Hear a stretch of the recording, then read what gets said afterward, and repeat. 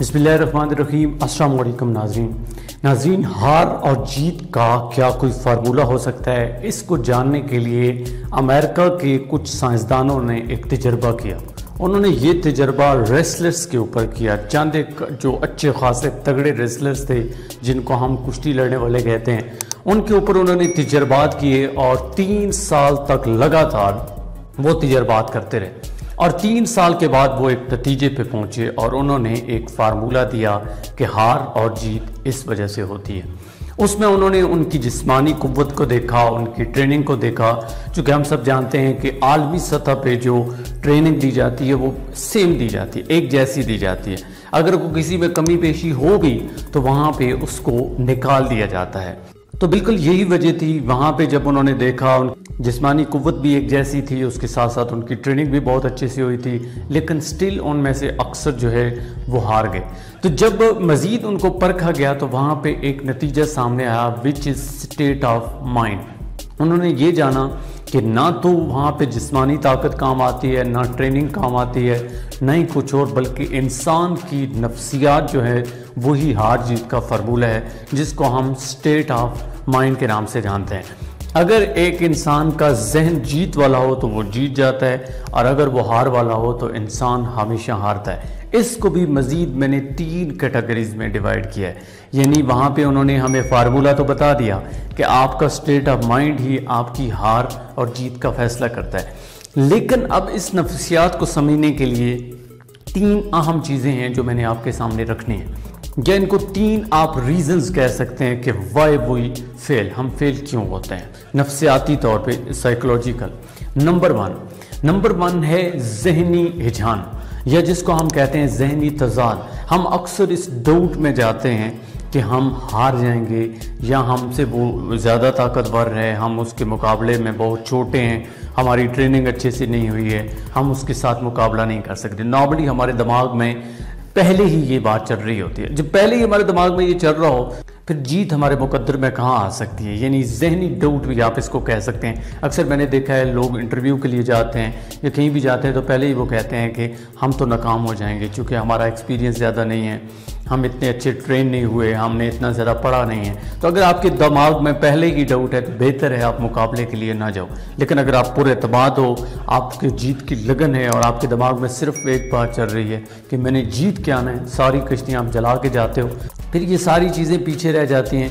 आपके पास कितनी पावर है, कितनी ज़्यादा आपने ट्रेनिंग की भी थी, कितनी ज़्यादा प्रैक्टिस की भी थी।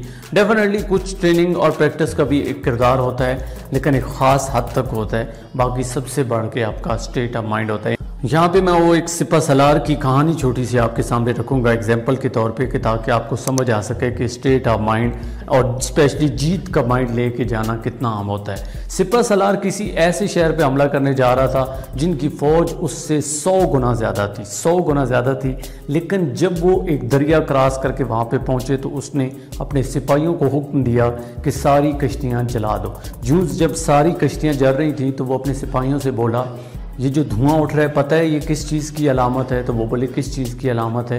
तो कहते हैं कि हमारे पास सिर्फ़ एक ऑप्शन है और वो है जीत का। दूसरा ऑप्शन, हमारी मौत होगी और यूँ वो जंग जीत के। सौ गुना ज़्यादा जिनकी फ़ौज थी, उसके मुकाबले में उनका स्टेट ऑफ़ माइंड था, क्योंकि वो कश्तियाँ जला के आए हुए थे, वो कफन बाँध के आए हुए थे।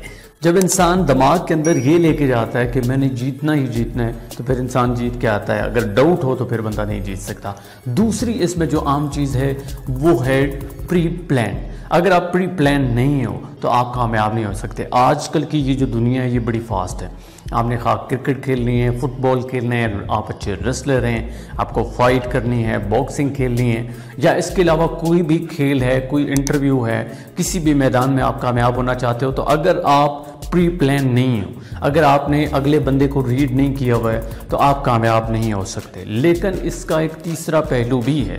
समटाइम ऐसा भी होता है कि हम प्री प्लान भी होते हैं, लेकिन स्टिल वो प्लान को एग्जीक्यूट नहीं कर पाते। उसकी वजह सब्र है और पेशेंस है। यानी पहली चीज़ मैंने कही कि जहनी डाउट दूसरा मैंने कहा कि प्लान होना चाहिए। तीसरी चीज़ पेशेंस है, यानी सब्र। जब भी आप मैदान के अंदर कूदते हैं तो आपके पास एक प्लानिंग होती है। आप दुरुस्त वक्त में, दुरुस्त प्लानिंग का इस्तेमाल करके ही वहाँ पे मैदान मार सकते हो, वहाँ पे जीत सकते हो। लेकिन अगर आप दुरुस्त वक्त में, दुरुस्त चाल नहीं चलते हो तो कामयाबी आपके मुकद्दर में नहीं आ सकती। तो ये एक नफ्सियात होती है।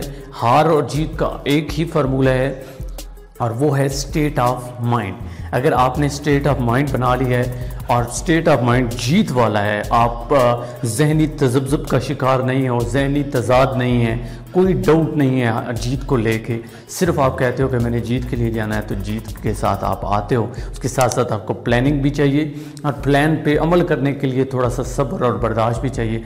चूँकि नॉर्मली जब हम मैदान में कूदते हैं तो अगला बंदा जब हमें छेड़ता है तो हम अपनी प्लानिंग को भूल जाते हैं। तो आज के इस लेक्चर में मैंने आपको क्या बताया? कि स्टेट ऑफ़ माइंड ही हार जीत का फार्मूला है और इसकी आगे मज़ीद तीन सब कैटेगरीज बताई आई होप कि इससे आप बहुत कुछ सीखेंगे। मुझे यहाँ से दीजिए इजाज़त। अला ने